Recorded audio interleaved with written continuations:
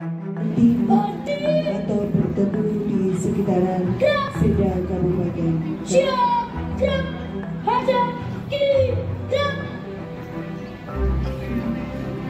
Polisi SPD selaku kepala sekolah di bawah naungan Dinas Pendidikan dan Kebudayaan dan Karangan binaan Satlantas Polres Karanganyar.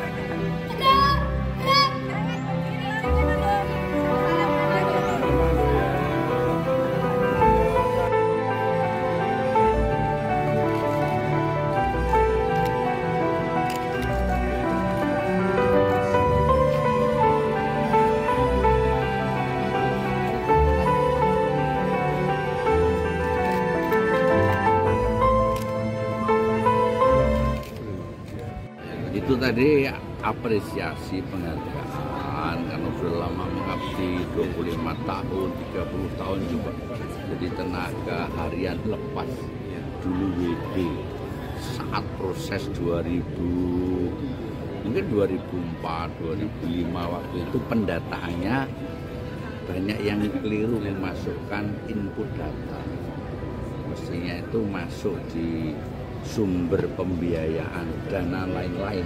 Waktu itu kan mestinya APBD kalau sudah dimasukkan waktu itu kan saya ingatkan waktu itu kan saya DPR semua hakikatnya punya kesempatan dan semuanya sudah eh, diberikan honor dari APBD saat diberi honor dari APBD itu berhak dia untuk diusulkan menjadi jauh Nah, mau pakai semua. Itu kan karena keliru. statusnya itu nanti gajinya dari APBD sih? Iya semua.